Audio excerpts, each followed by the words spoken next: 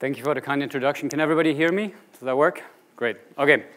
I want to thank the organizers for inviting me. It's awesome to be here. Uh, now it's my turn. We heard great talks this morning. Sorry, I'm going to drag it down from now on. Um, now it's my turn to tell you a little bit about the work that goes on in our lab, all of which, one way or another, revolves around the origins of novelty in development and evolution. And this is a really broad topic, so we break it down along what we call seven dimensions of innovation and diversification in the natural world. And we enlist in this a diverse cast of insect model systems. So for instance, we do work on fireflies and their magnificent light-producing lanterns to explore the very origins of novel complex traits and the developmental evolution of size, shape, and positioning. We've done some work on tree hoppers and their crazy helmets to address some of the same questions, uh, but also add to this an, a research program into the developmental evolution of sex differences. However, we do most of our work on beetles and their horns, where again we address all of these questions, but also explore the origins and diversification of environment-sensitive development. And then we have efforts to explore the developmental evolution of phenotypic integration. Complex traits are called complex because they often have behavioral, physiological, morphological components. These ought to be integrated. That integration, of course, itself evolves, but may have the potential to feed back on subsequent diversification. That's what we are interested in. And then we shift gears and explore innovation through team building. When organisms form collectives, symbioses, where a collective can go places, can innovate in ways that individual components cannot.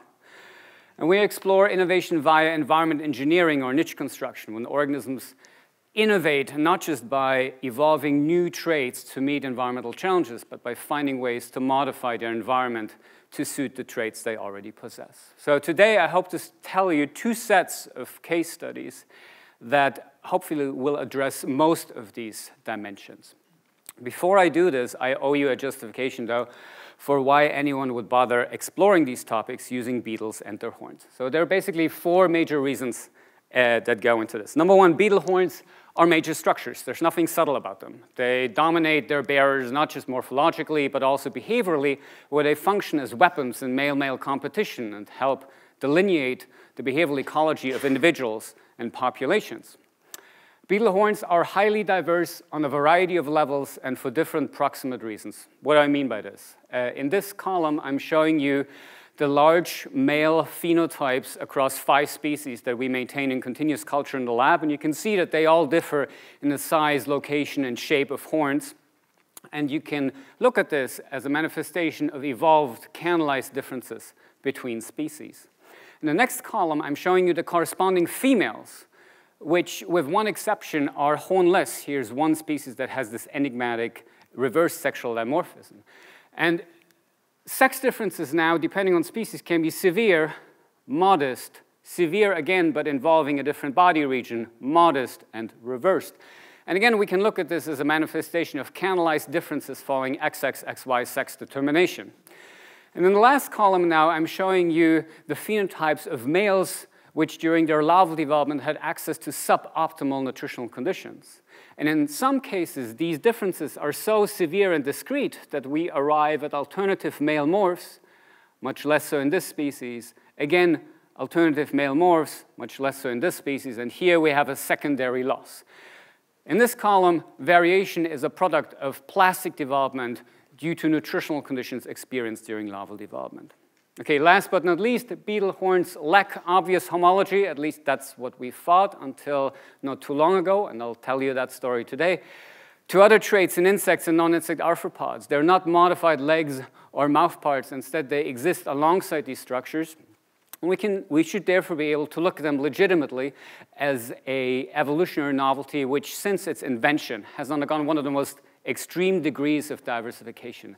By the way, this species is about yay long. Uh, it can fly, uh, not gracefully, but it can.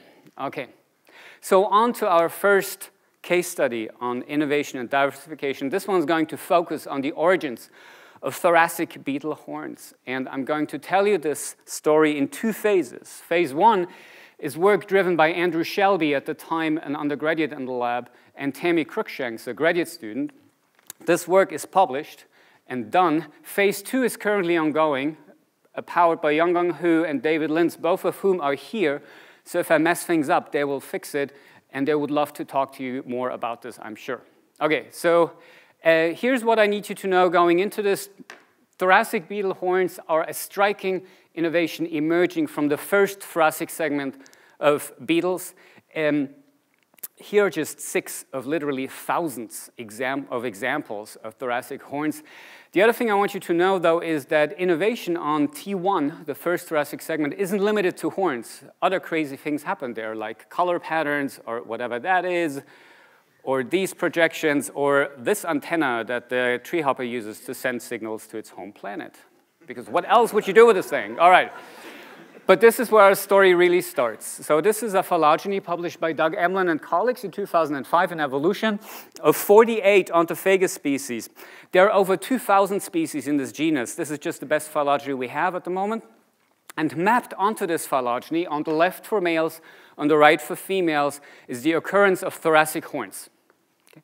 And based on this reconstruction and analysis, Emlen and colleagues concluded correctly so that in order to explain present-day patterns of diversification, the most parsimonious explanation requires nine independent origins of thoracic horns in males and seven in females. That's, that's extraordinary, but it's the, the, the correct conclusion if all you have access to are adult phenotypes. Things became interesting, though, when we started to rear these guys in captivity. I'm showing you here Onthophagus binodis, which in this phylogeny is labeled as having a thoracic horn, oops, only in males, but not in females. But if you look at the corresponding male and female pupa, they both have a thoracic horn. It's just that she, after turning pupa, bombards it with programmed cell death and resorbs it before turning into a thorax hornless adult. We found the same pattern in Onthophagus hecate, which I'm not going to show you.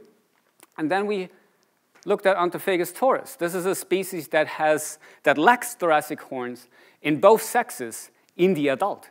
But if you look at the pupae, they both make pronounced thoracic horns. Now it's just that both of them resorb them prior, uh, before they turn adults. We found that same pattern in four more species within that phylogeny. In fact, we found that same pattern in 22 more species that are not part of this phylogeny, but they all have no thoracic horn as adults, but they all have them during the pupal stage. So to us, that signaled that perhaps rather than postulating nine or seven independent origins of thoracic horns, maybe thoracic horns only evolved once at the base of this clade, and what truly diversified was a given lineage's ability to retain or resorb the horn before turning into an adult. All right. That, of course, begs the question, why bother? Why go through the trouble of growing this thing as a pupa? This, I'm showing you an animal that's about to molt into an adult, when all you do with it is resorb the structure and turn into a thoracic hornless adult. Specifically, we were wondering, could it be that these structures have a utility beyond being the pupal precursors of an adult weapon? Is there something else they do? Well, one hypothesis that suggested itself fairly early was that these structures, prior to becoming pupal horns, may play a role in the molting process. Okay, let me walk you through this. What you see here is a sagittal section this way through the head and first thoracic segment. Here's the head. Here's the first thoracic segment of an animal that is about to molt from larva to pupa.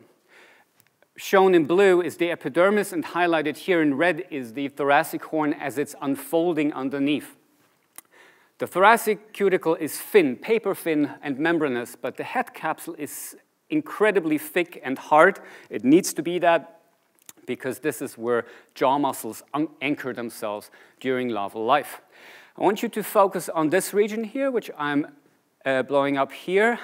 And I would like you to see how the tip of this thoracic horn is inserting itself into this empty space vacated between the head epidermis and the head capsule. If I would have fixed this animal a few hours later, that tip would have been over here, and it also would have broadened out.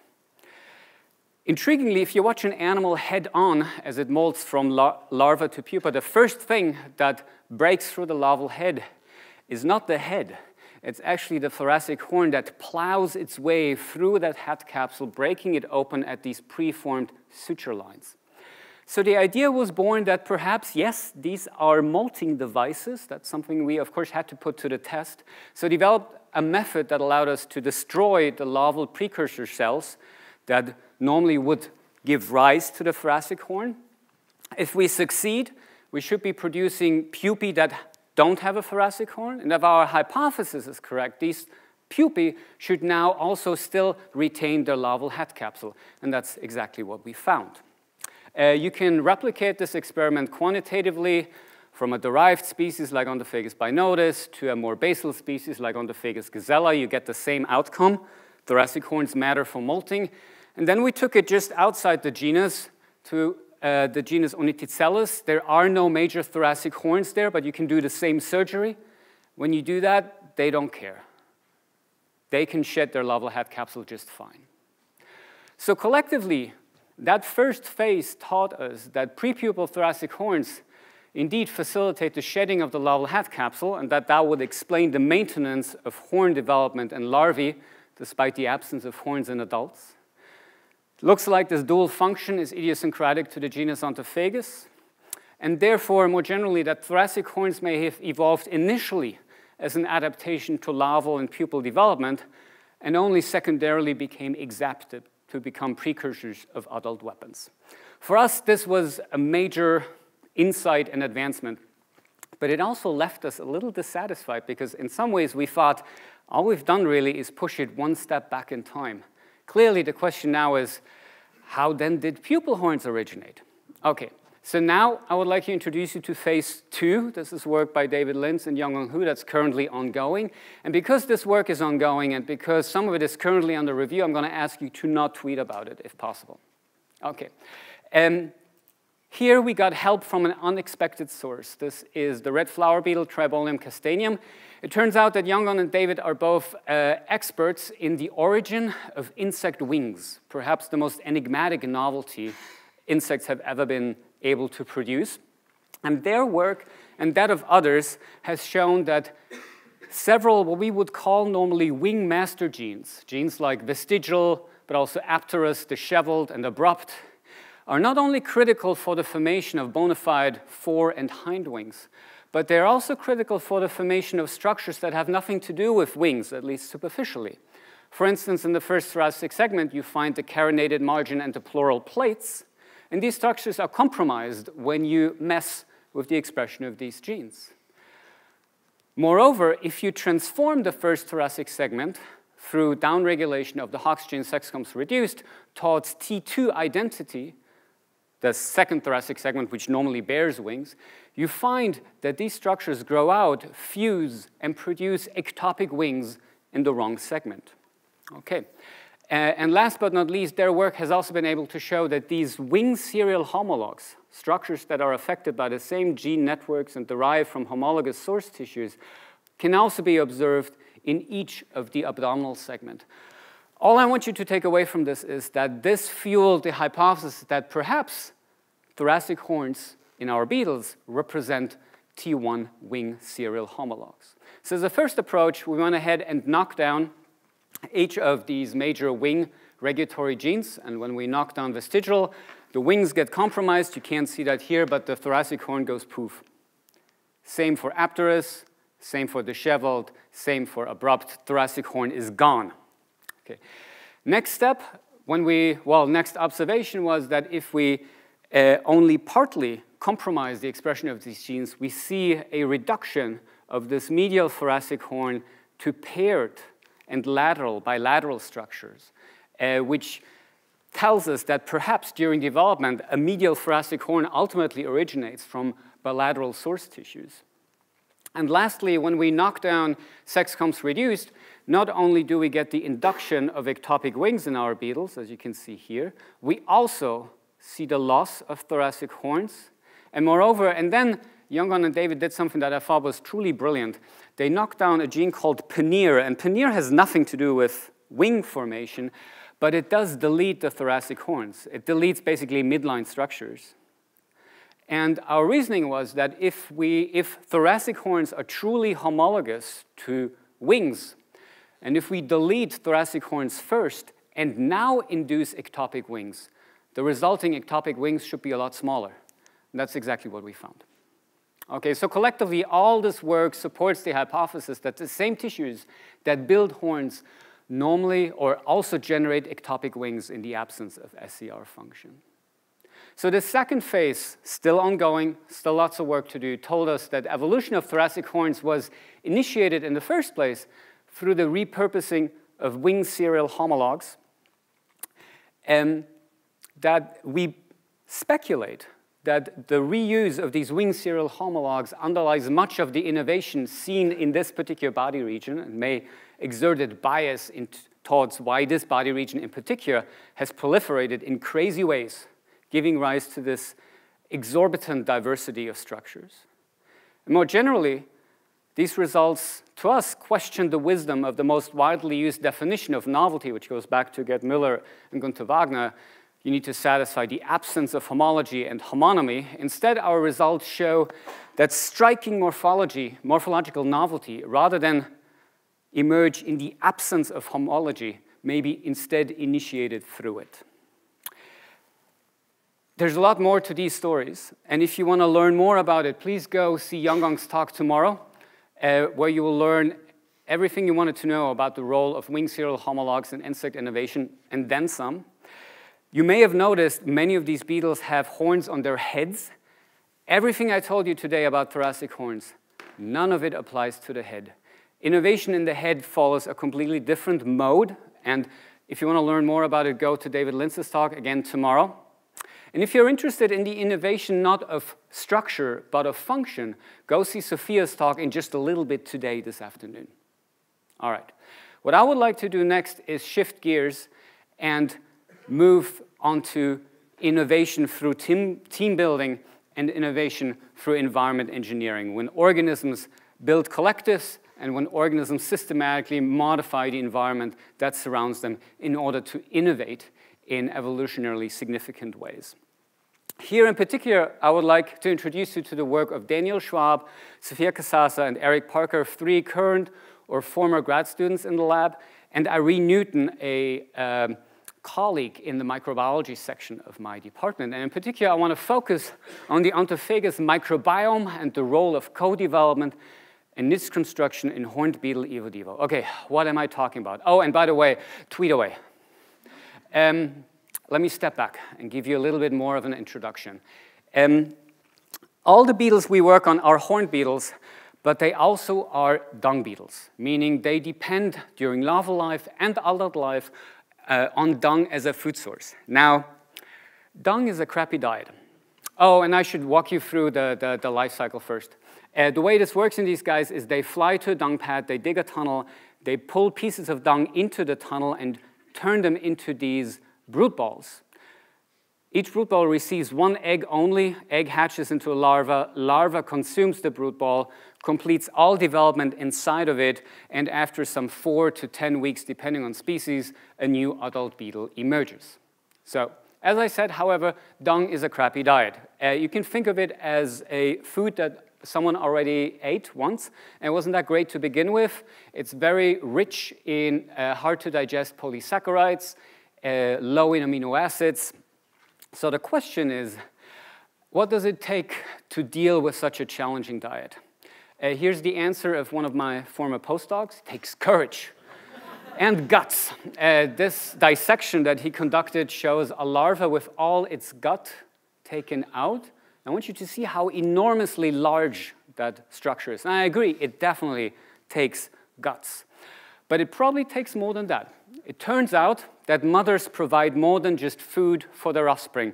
Those in the back may not be able to see this, but those in front, I hope you can see that this egg doesn't just sit there, it actually sits on a little pedestal. It turns out that when mom lays an egg, before she does that, she actually produces a little bit of fecal matter herself. Think of it as like dung beetle dung. She takes a dump and then she takes her egg and goes, puts it on top. Okay, and when the egg hatches, the first thing that that resulting larva does is eat that pedestal, thereby inoculating itself with a maternally derived microbiome, which we now know is faithfully transmitted from mother to offspring. It is distinct from microbiome found in the cow, the dung, the soil, or the brood ball. And we subsequently developed ways to manipulate its presence and absence and composition, which now allowed us to investigate various aspects of the dimension of host beetle microbiome interactions. And that's what I would like to focus on for the remainder of my talk. Uh, specifically, the first question we ask, does it matter? Uh, does it actually enhance fitness? And the answer is yes. If you deprive larvae of their natural source of their microbiome, then, or if you provide it to them, as in these micro plus individuals, they reach uh, pupal development faster and they arrive at ultimately larger body sizes compared to animals, micro minus, who, uh, from whom their natural source of their microbiome was withheld.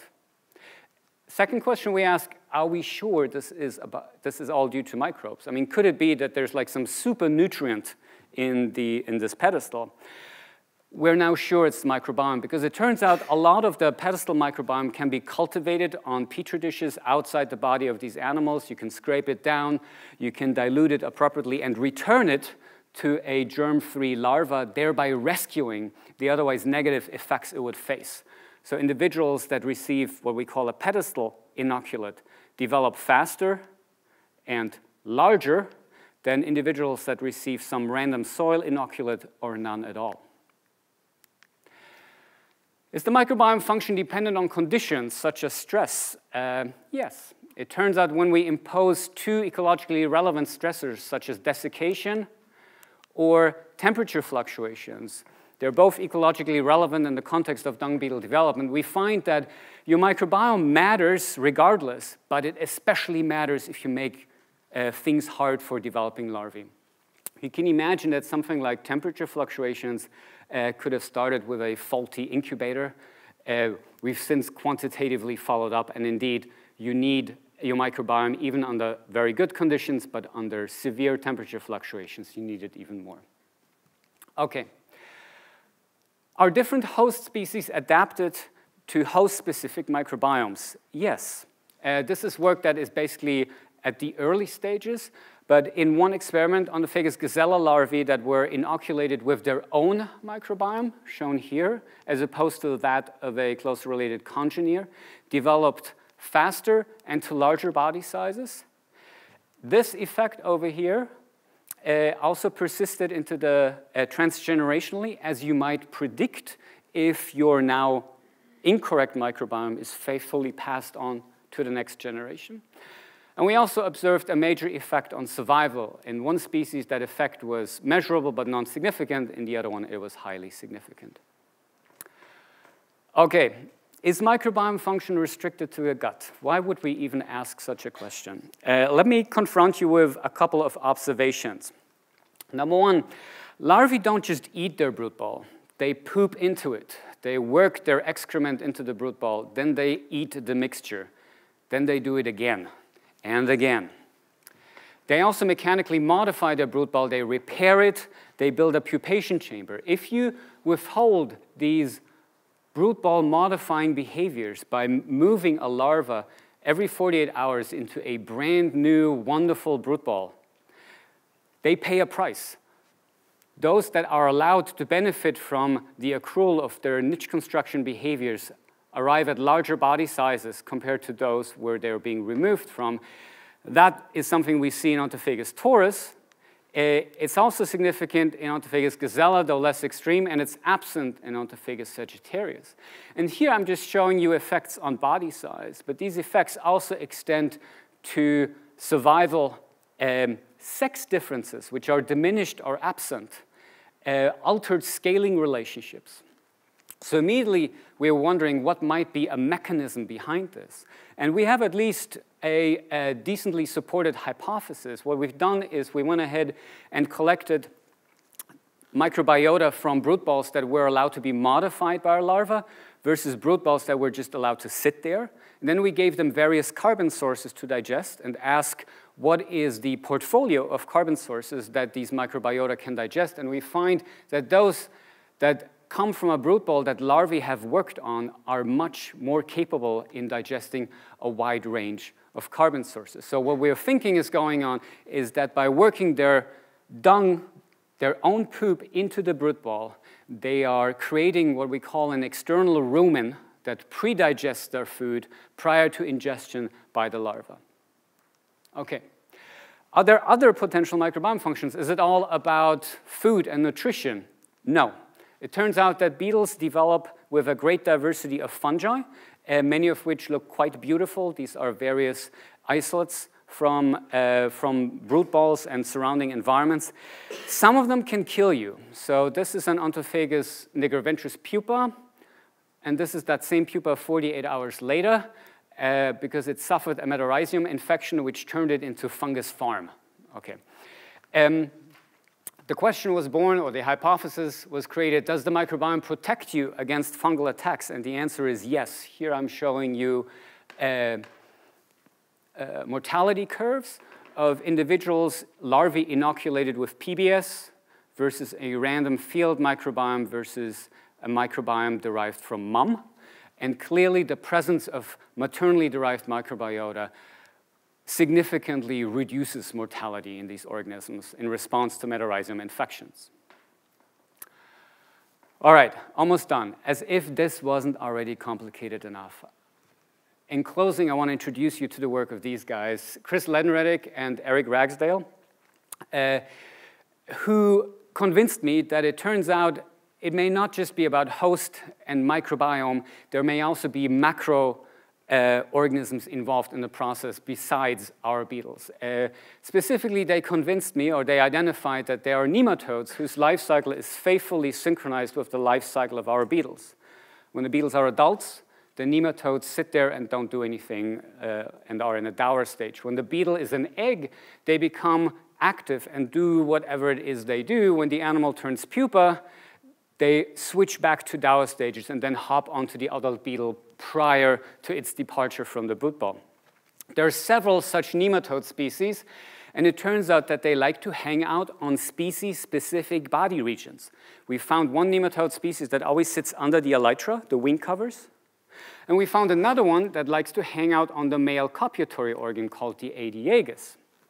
Okay, and what I'm showing you here, and I hope this works, is a dissected Aedeagus, male copulatory organ, and you're looking at the tip. So this is the structure that would be inserted into the female during copulation, and these are the nematodes that inhabit that copulatory organ. We now know that these nematodes are transmitted during sexual intercourse. They're also transmitted from females onto eggs, after oviposition. Uh, this is the nematode, Diplogastrellus monhysteroides. The nematode specialists in the world tell us that this is a bacterial predator. Here's a tooth with which it eats its bacterial prey. Uh, I didn't notice, but it turns out that insect brood chamber nematode associations are really common. Just nobody really knows what they do, if anything. So we developed a method that allows us to kind of like germ-free larvae, we now can have nematode-free larvae and inoculate them with the nematode of our choice at whatever stage we want to. And when we do that, long story short, we find that the presence of the nematode significantly enhances the weight of larvae and the mass gain or growth rate of the larvae. This is a sexually transmitted mutualist that benefits developing Onthophagus larvae and it does so, or at least this is associated with significant and consistent skews in the bacterial and fungal communities that inhabit the brood ball. All right, let me try to summarize the second part. I hope to have shown you here that in our dung beetles, the microbiome promotes host growth, especially under stressful conditions that beetle hosts and their microbiome reciprocally construct each other's developmental environment, and that the functional significance of larval and adult niche construction diversify across host species. And last but not least, I've shown you that these Diplogastrellus nematodes are vertically and sexually transmitted mutualists, which further promote host growth via microbiome engineering. Okay. More generally, oh, if you want to learn more about this, go see poster 31 by Erik Parker with a little help from my friends, which puts, puts this even further into the direction of um, the role of microbial communities in uh, range expansions and ecological radiations. Okay, more generally, I hope to have shown you today that beetle horns and horned beetles offer a rich and complex microcosm for exploring the mechanics of innovation and diversification in the natural world.